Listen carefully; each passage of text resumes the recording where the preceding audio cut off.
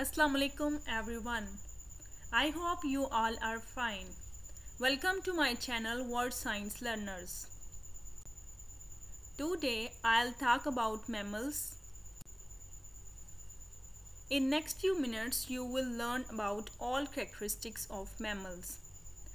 Now I am going to talk about mammals. Definition of mammals Mammal is a type of warm-blooded animals that breastfeeds their babies and usually has hair. A vertebrate animal whose youngs are nourished with milk from special mammary glands of the mother.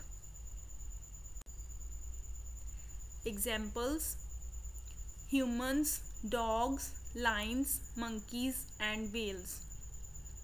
Female mammals give birth to babies rather than laying eggs and feed their youngs with milk. Now we discuss about the characteristics of mammals. So first they have hair on the body. They have mammary glands that help them to produce milk to feed their younger ones. They have specialized teeth, they have heterodont dentition. Example possesses different types of teeth. Three middle ear ossicles are present that help them for good sense of hearing. Diaphragm is present in them. Their skin has sweat, sudoriferous, oil sebaceous, scent musk glands.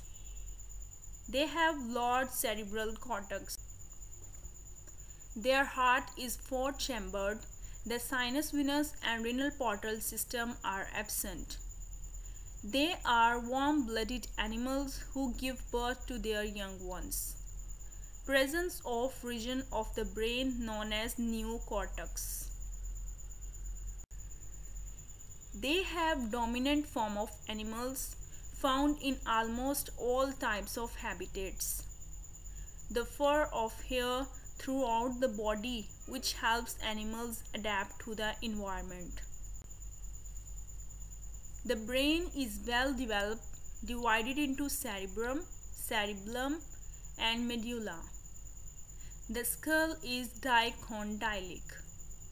The trunk is divided into thorax and abdomen. The mammals can lay eggs also. They are known as viviparous. The mammals respire through lungs. They possess 12 pairs of cranial nerves. Presence of single bone lower jaws. Thank you all for listening and watching my videos.